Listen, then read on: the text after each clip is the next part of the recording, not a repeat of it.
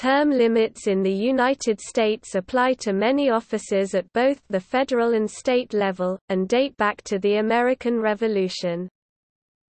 Term limits, also referred to as rotation in office, restrict the number of terms of office an officeholder may hold.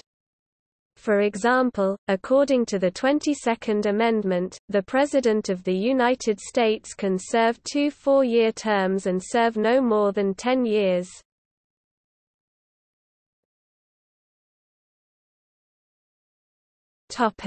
Historical background.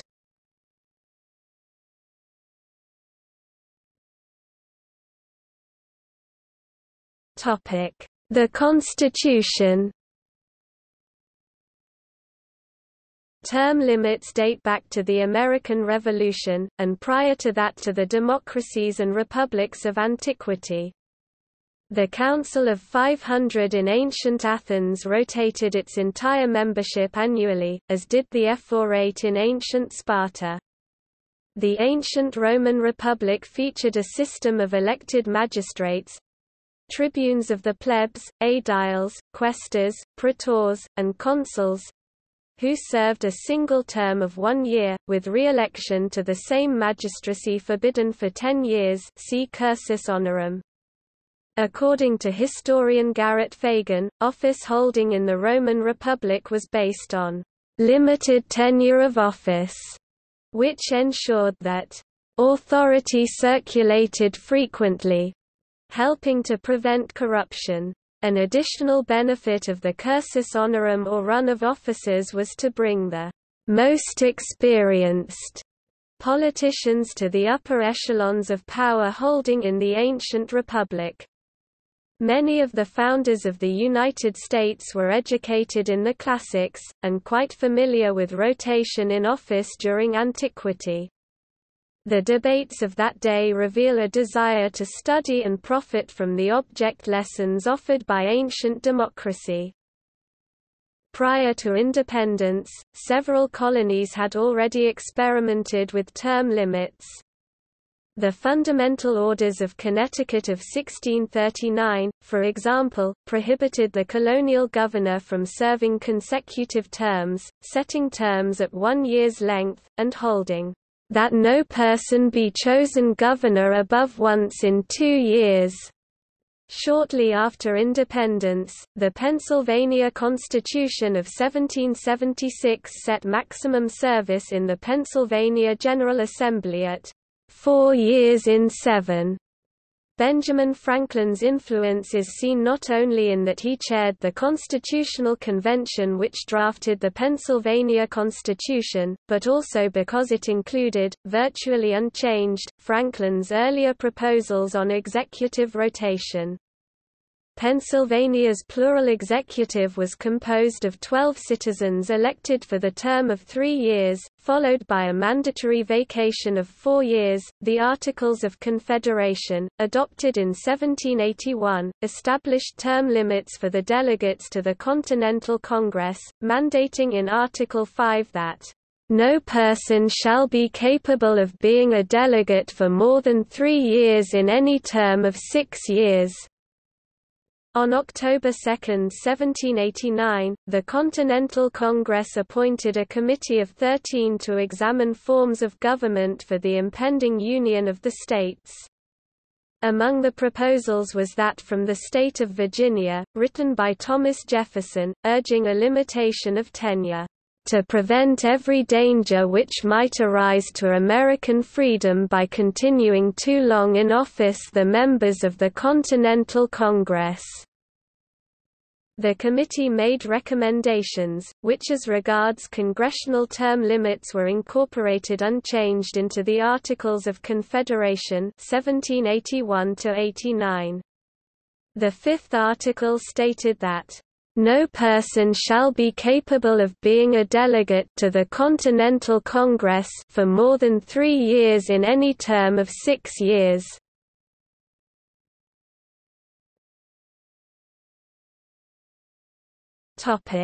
Term limits in the Constitution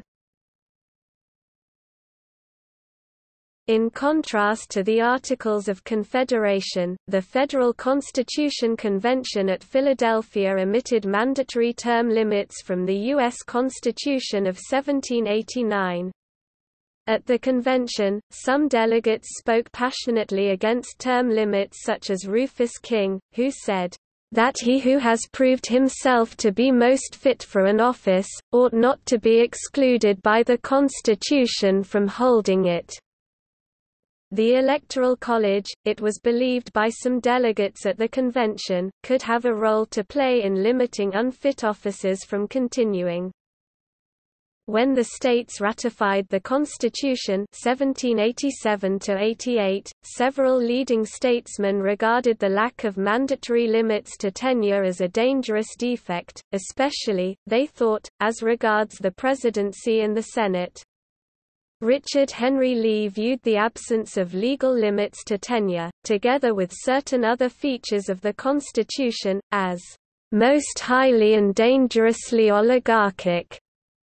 Both Jefferson and George Mason advised limits on re-election to the Senate and to the presidency, because said Mason, Nothing is so essential to the preservation of a republican government as a periodic rotation. The historian Mercy Otis Warren, warned that, "...there is no provision for a rotation, nor anything to prevent the perpetuity of office in the same hands for life, which by a little well-timed bribery, will probably be done."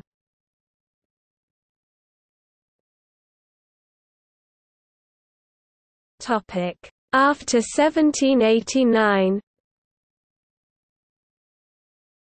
Michael Korzi says George Washington did not set the informal precedent for a two-term limit for the presidency, he only meant he was too worn out to personally continue in office. It was Thomas Jefferson who made it a principle in 1808. He made many statements calling for term limits in one form or another. The tradition was challenged by Ulysses Grant in 1880, and by Theodore Roosevelt in 1912. Otherwise no major effort to avoid it took place until 1940 when Franklin Roosevelt explicitly broke it. The 22nd Amendment to the U.S. Constitution was ratified in 1951 formally establishing in law the two-term limit—although it did not apply to the incumbent Harry Truman.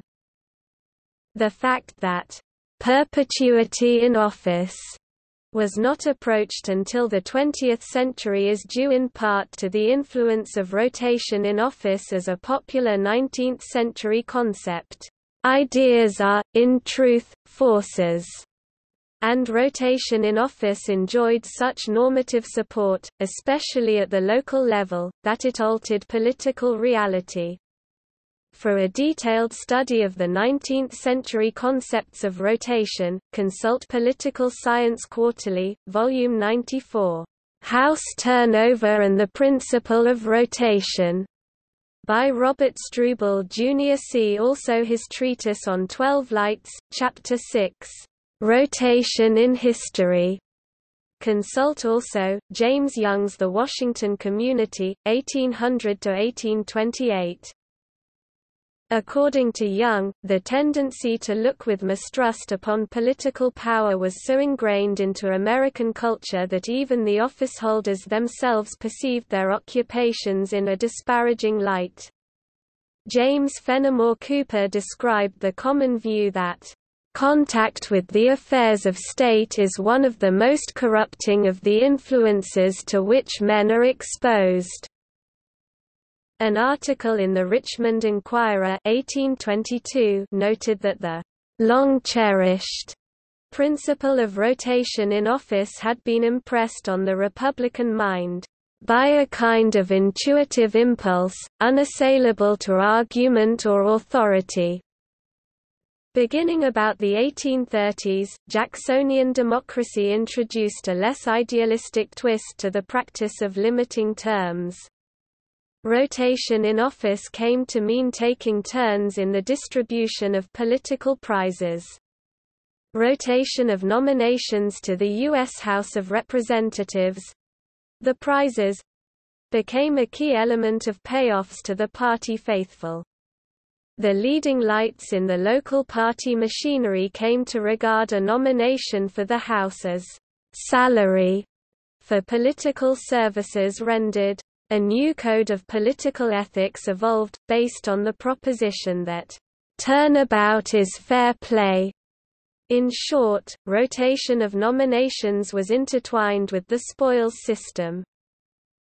In district nominating conventions local leaders could negotiate and enforce agreements to pass the nominations around among themselves.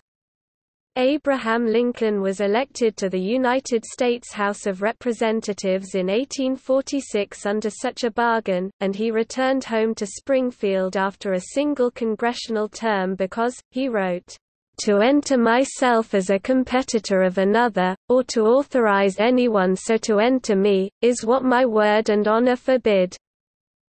During the Civil War, the Confederate States Constitution limited its president to a single six-year term.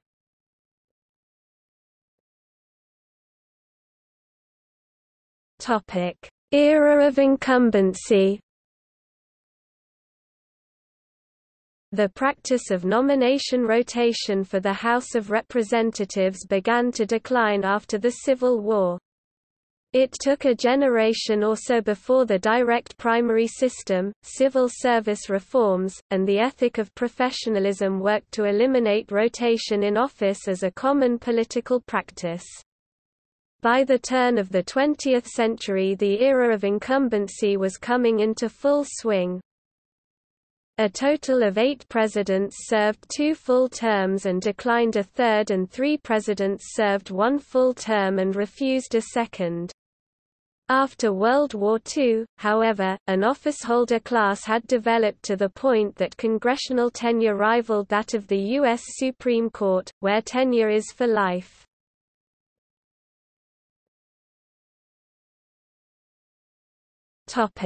Term limits movement Homesteading or securing a lifelong career in Congress, was made possible by re-election rates that approached 100% by the end of the 20th century. The concept of homesteading brought about a popular movement known as the term limits movement, the elections of 1990 to 94 saw the adoption of term limits for state legislatures in almost every state where citizens had the power of the initiative. In addition, 23 states limited service in their delegation to Congress. As they pertain to Congress, these laws are no longer enforceable, however, as in 1995, the U.S. Supreme Court overturned congressional term limits in U.S. Term Limits, Inc. v. Thornton, ruling that state governments cannot limit the terms of members of the national government, where rotation in the legislative branch has withstood court challenges, term limits continue to garner popular support. As of 2002, the advocacy group, U.S. Term Limits, found that in the 17 states where state legislators served in rotation, public support for term limits ranged from 60 to 78 percent.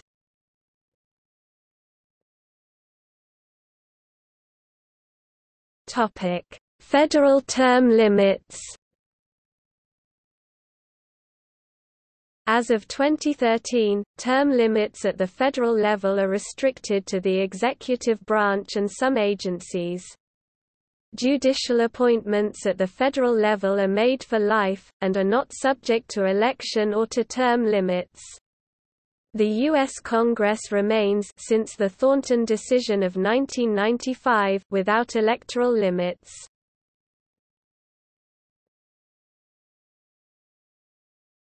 Topic: President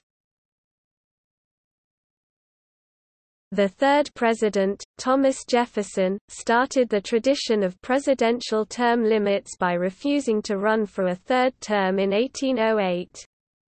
Everything the first president did obviously set a precedent, but did not necessarily set a new policy.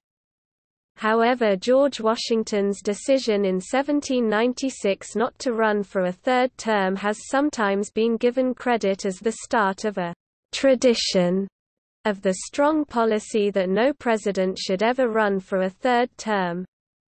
Washington wanted to retire when his first term ended in 1792 but all his advisers begged him to stand for re-election. By 1796 he insisted on retiring, for he felt worn out, and was disgusted with the virulent personal attacks on his integrity. His farewell address very briefly mentioned why he would not run for a third term, and goes on to give a great deal of political advice.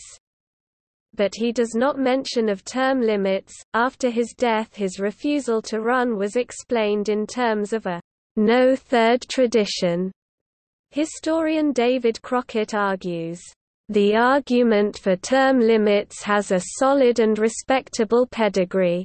Contrary to popular belief, however, that pedigree does not begin with George Washington.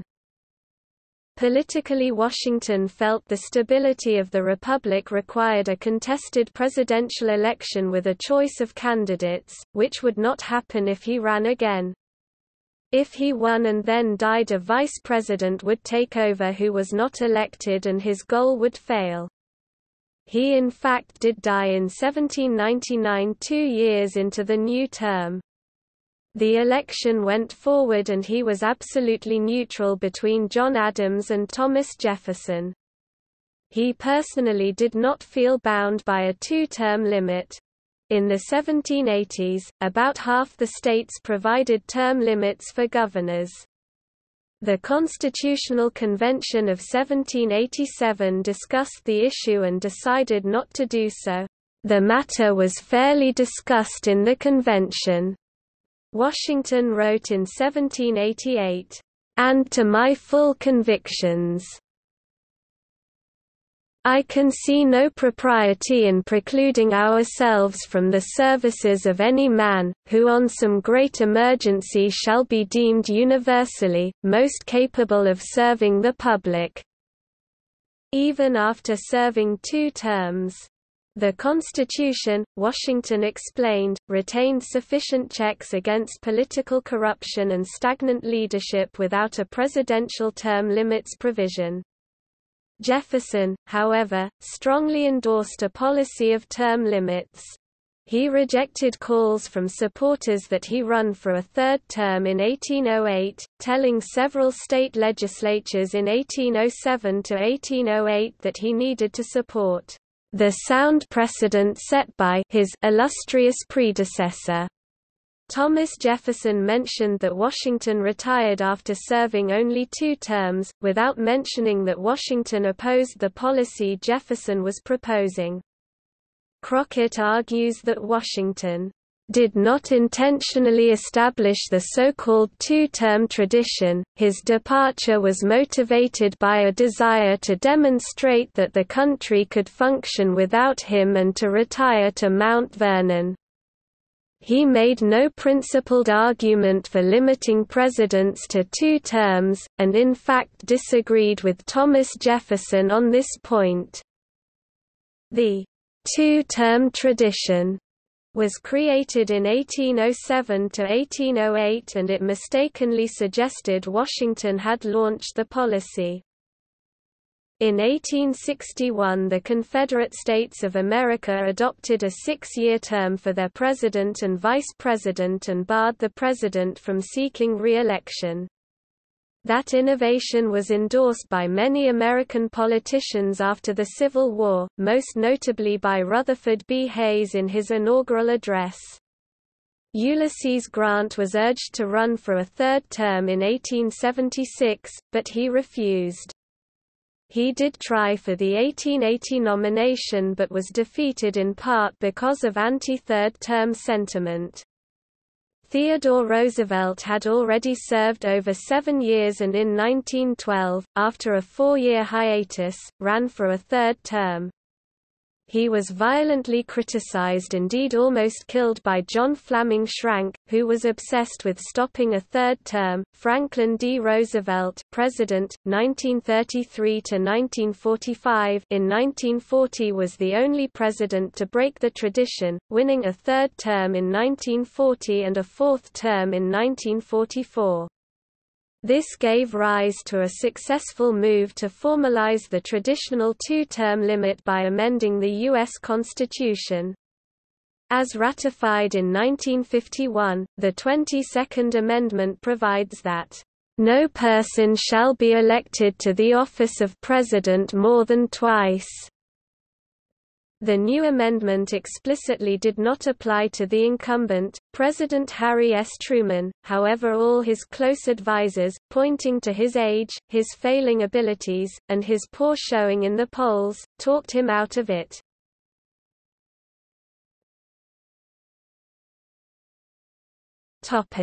Congress Reformers during the early 1990s used the initiative and referendum to put congressional term limits on the ballot in 24 states. Voters in eight of these states approved the congressional term limits by an average electoral margin of 2 to 1. It was an open question whether states had the constitutional authority to enact these limits. In May 1995, the U.S. Supreme Court ruled 5–4 in U.S. term limits, Inc. v. Thornton, 514 U.S. 779 1995, that states cannot impose term limits upon their federal representatives or senators. In the 1994 elections, part of the Republican platform included legislation for term limits in Congress. After winning the majority, a Republican congressman brought a constitutional amendment to the House floor that proposed limiting members of the Senate to two six-year terms and members of the House to six two-year terms. However, this rate of rotation was so slow the life-tenured Supreme Court averages in the vicinity of 12 years that the congressional version of term limits garnered little support among the populist backers of term limits, including U.S. Term Limits, the largest private organization pushing for congressional term limits. The bill got only a bare majority 227 to 204, falling short of the two-thirds majority 290 needed for constitutional amendments. Three other term limit amendment bills failed to get more than 200 votes, defeated in Congress and overridden by the Supreme Court. The federal term limit movement was brought to a halt. The term limits intended simultaneously to reform state legislatures as distinguished from the federal congressional delegations remain in force, however, in 15 states. In 2007 Larry J. Sabato revived the debate over term limits by arguing in A More Perfect Constitution that the success and popularity of term limits at the state level suggests that they should be adopted at the federal level as well. He specifically put forth the idea of congressional term limits and suggested a national constitutional convention be used to accomplish the amendment, since the Congress would be unlikely to propose and adopt any amendment that limits its own power.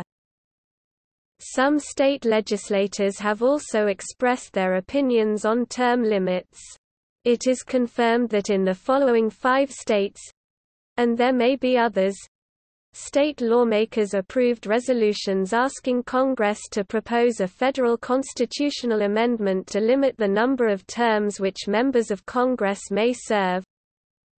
South Dakota legislature designated as POM 42 in the U.S. Senate approved in 1989, South Dakota House Joint Resolution No. 1001 see Congressional Record of April 4, 1989, at pages 5395 and 5396, with verbatim text provided Hawaii Senate designated as Memorial 400 in the U.S. House of Representatives approved in 1990, Hawaii Senate Resolution No. 41, Unicameral only see Congressional Record of September 28, 1998, at page 22655 It took eight years for this resolution to find its way into the Congressional Record and to be correctly referred to the Committee on the Judiciary, and even then, its text was not provided in the Congressional Record. Back in 1990, Hawaii's S.R.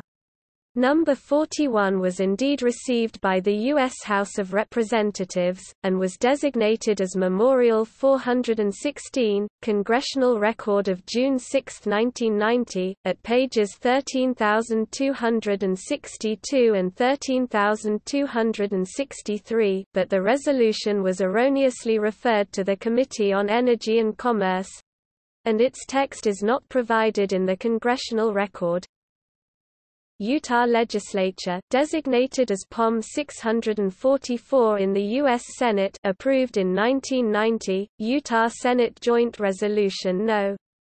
24 see Congressional Record of September 27, 1994, at page 26033, with verbatim text provided it took four years for this resolution to find its way into the U.S. Senate's portion of the Congressional Record.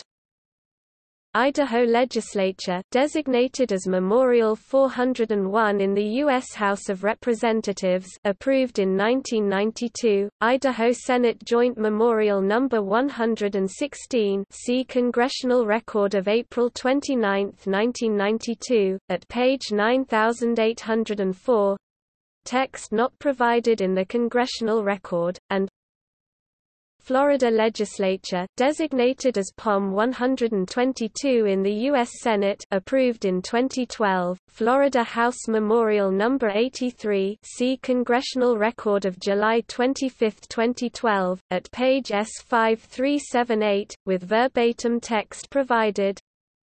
Taking matters a bit further, on February 10, 2016, Florida lawmakers approved House Memorial No. 417 calling upon Congress, pursuant to Article 5 of the federal Constitution, to assemble a convention to prepare a constitutional amendment that would establish term limits upon members of Congress.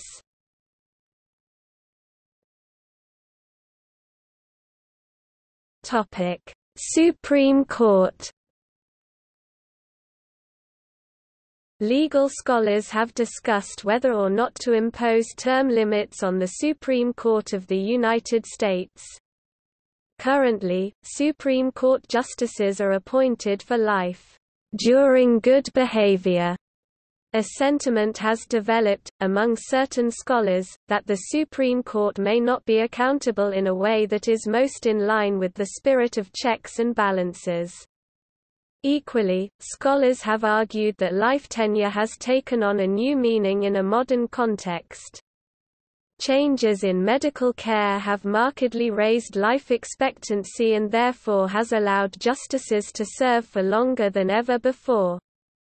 Steven G. Calabresi and James Lindgren, professors of law at Northwestern University, argued that, because vacancies in the court are occurring with less frequency and justices served on average, between 1971 and 2006, for 26.1 years, the efficacy of the democratic check that the appointment process provides on the court's membership is reduced. There have been several similar proposals to implement term limits for the nation's highest court, including Professor of Law at Duke University, Paul Carrington's 2005, The Supreme Court Renewal Act of 2005, Many of the proposals center around a term limit for justices that would be 18 years Larry Sabato, professor of political science at University of Virginia, suggested between 15 and 18 years. The proposed staggered term limits of 18 years would, according to Calabresi, Lindgren 2006, and Carrington 2005, allow for a new appointment to the court every two years, which in effect would allow every president at least two appointments. Professor Carrington has argued that such a measure would not require a constitutional amendment as the Constitution doesn't even mention life tenure, it merely requires that justices serve during good behavior. The idea was not without support among judges, as John Roberts supported term limits before he was appointed to the Supreme Court as Chief Justice. Calabresi, Lindgren, and Carrington have also proposed that when justices have served out their proposed 18-year term they should be able to sit on other federal courts until retirement, death, or removal. Fairleigh Dickinson University's Public Mind poll measured American voters' attitudes towards various proposed Supreme Court reforms, including implementing term limits. The 2010 poll found that a majority of Americans were largely unaware of a proposal to impose a term limit of 18 years, as 82% reported they had heard little or nothing at all. Notwithstanding a lack of awareness, 52% of Americans approved of limiting terms to 18 years, while 35% disapproved. When asked how old is too old for a Supreme Court judge to serve if he or she seems healthy, 48% said, "...no limit as long as he or she is healthy." While 31% agreed that anyone over the age of 70 is too old, some state lawmakers have officially expressed to Congress a desire for a federal constitutional amendment to limit terms of Supreme Court justices as well as of judges of federal courts below the Supreme Court level. While there might be others, below are three known examples, in 1957, the Alabama legislature adopted Senate Joint Resolution No. 47 on the subject appearing in the U.S. Senate's portion of the Congressional Record on July 3, 1957, at page 10863, with full text provided, in 1978, the Tennessee General Assembly adopted House Joint Resolution No. 21 on the subject designated as POM 612 by the U.S. Senate and quoted in full in the Congressional Record of April 25, 1978, at page 11437, and in 1998, the Louisiana House of Representatives adopted House Resolution No. 120 on the subject, designated as POM 511 by the U.S. Senate and quoted in full in the Congressional Record of July 17, 1998, at page 16076.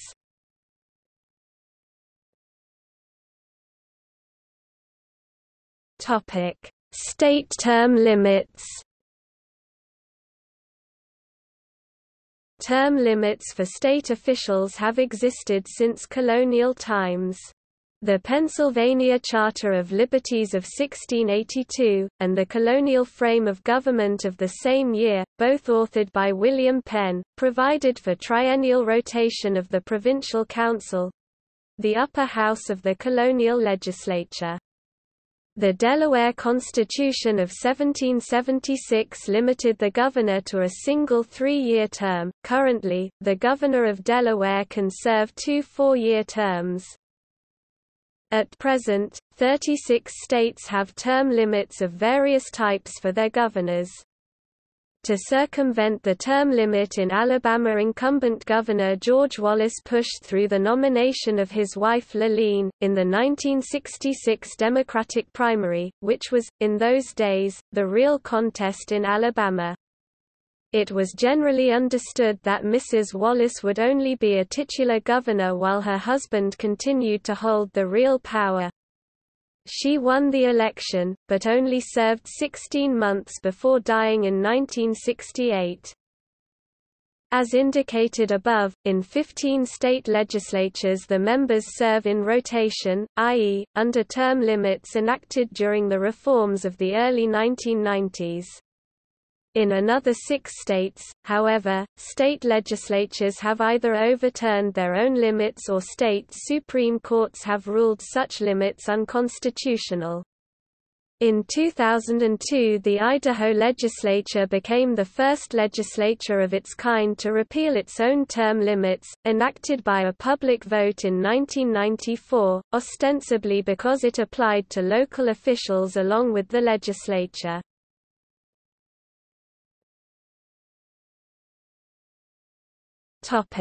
Gubernatorial term limits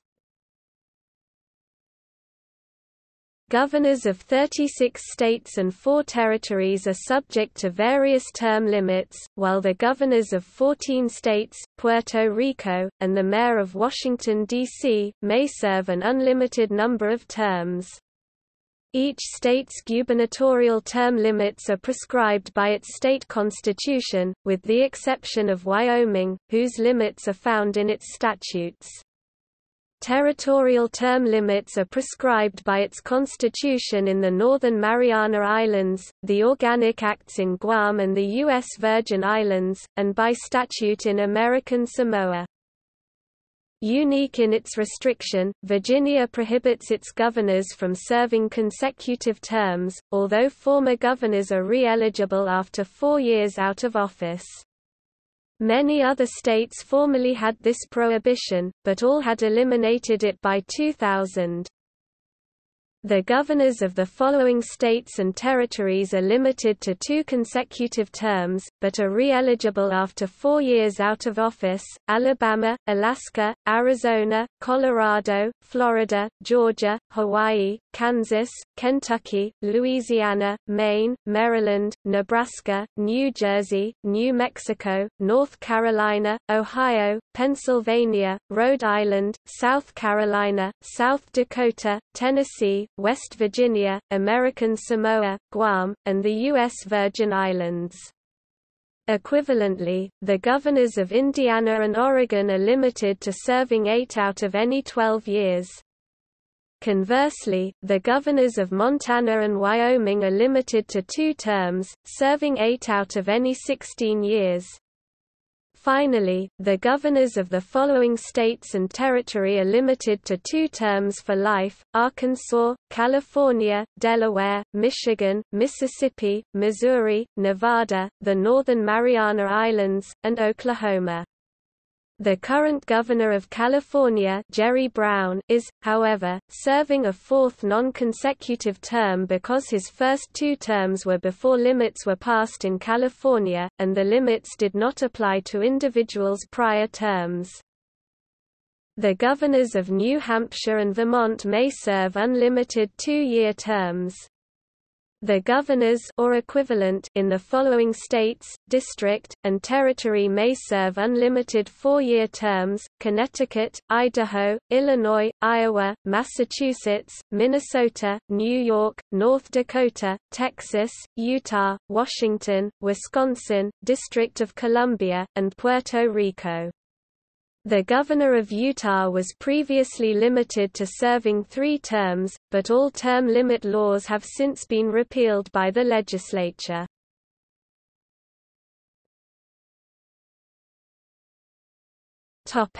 State legislatures with term limits The following 15 legislatures have term limits Arizona legislature, four consecutive two-year terms for both houses eight years. No limit on total number of terms. Arkansas General Assembly, 16 years total in either the House or the Senate. Prior to the 2014 election, the previous limits of three two-year terms for House members six years and two four-year terms for Senate members eight years applied.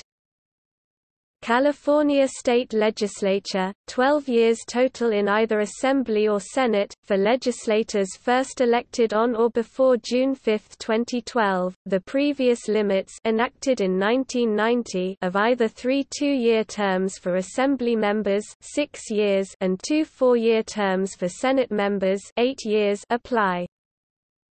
Colorado General Assembly, four consecutive two-year terms in the House eight years and two consecutive four-year terms in the Senate eight years. Florida legislature, may serve no more than eight consecutive years in either house. No limit on total number of terms. Louisiana state legislature, three consecutive four-year terms for both houses 12 years. Members may run for the opposite body without having to sit out an election. Maine legislature, four two-year terms for both houses eight years. No limit on total number of terms, Michigan legislature, three two-year terms for House members six years and two four-year terms for Senate members eight years. Missouri General Assembly, four consecutive two-year terms for House members eight years and two four-year consecutive terms for Senate members eight years. Members may be elected again to the other House, but not serve more than 16 years.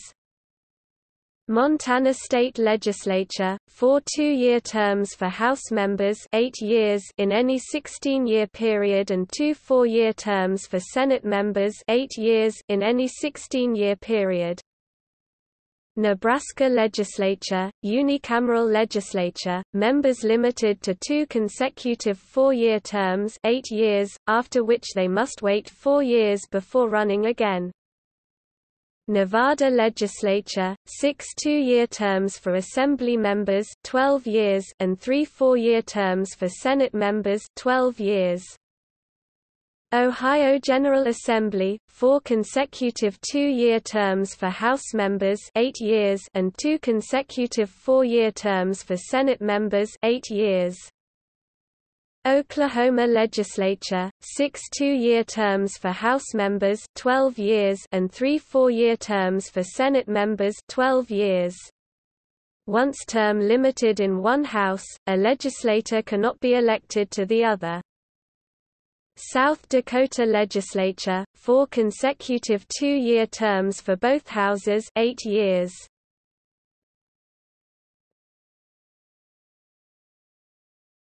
Topic: Overturned or repealed state legislative term limits.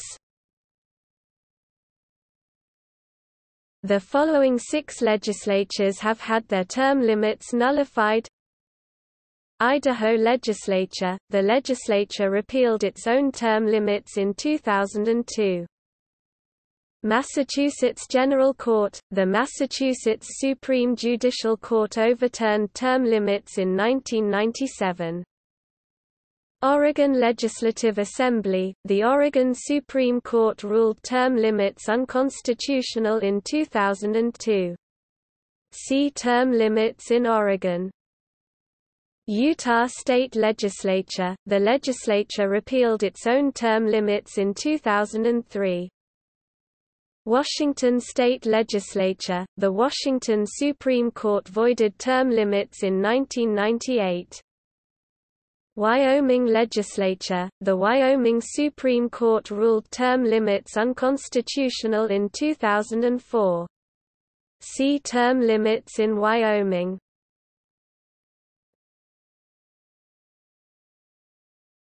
Topic: Municipal term limits. Some local governments have term limits. In Philadelphia, the mayor cannot be elected three consecutive times, but there is no limit on how long any individual can serve as mayor. Frank Rizzo was elected mayor in 1971 and 1975. He attempted to repeal the term limit, but failed and could not run in 1979.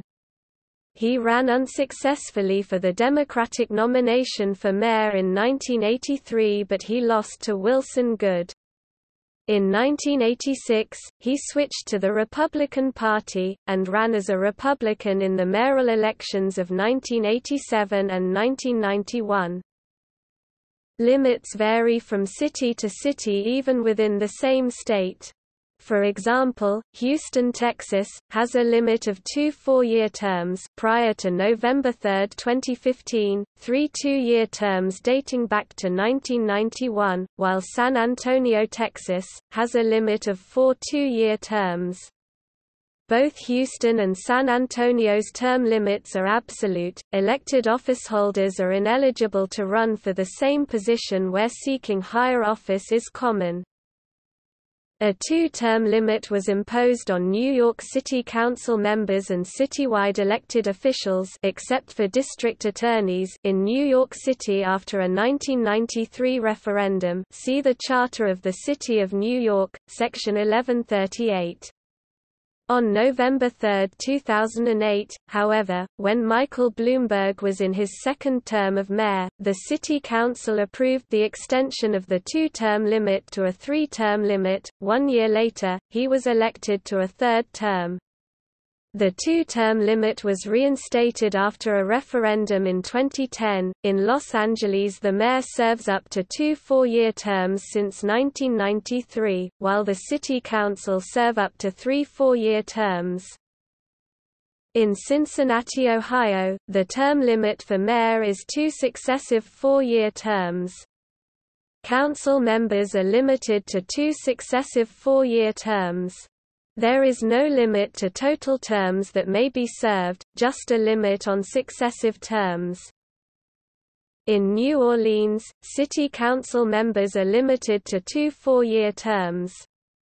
However, a council member representing one of the five council districts may run for one of the two at-large seats on the council once they reach the two-term limit, and vice versa. There is no limit on the number of terms a council member may serve in a lifetime. Since 1954, the mayor of New Orleans has been limited to two consecutive four-year elected terms, but he or she may be elected again after sitting out one four-year term.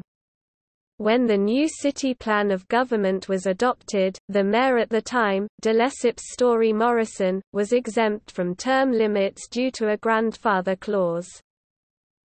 Under the original Metropolitan Charter adopted in 1962, the mayor of Nashville was limited to three consecutive four-year terms, which was subsequently reduced to two consecutive four-year terms in 1991. Councillors were likewise limited to two consecutive four-year terms, but subsequent court rulings have determined the offices of district councillor and at-large councillor to be separate offices even though all councillors serve together in one unicameral body, which has meant that at-large councillors have continued in office as district members, and more frequently, district councillors have been elected to subsequent terms as at-large councillors.